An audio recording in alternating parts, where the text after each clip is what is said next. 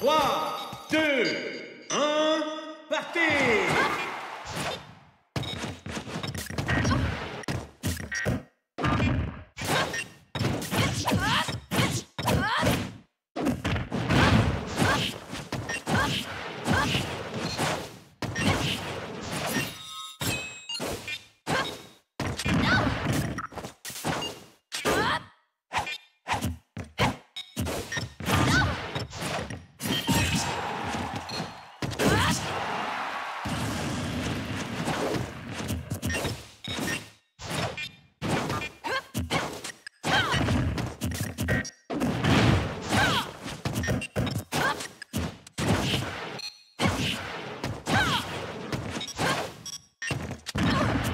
partez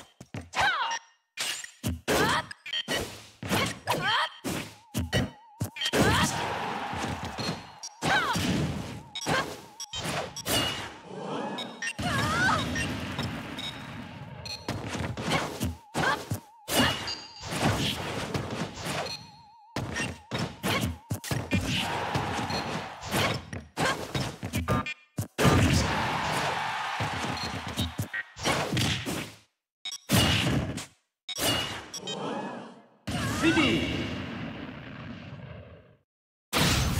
Et c'est une victoire pour Mr. Game & Watch.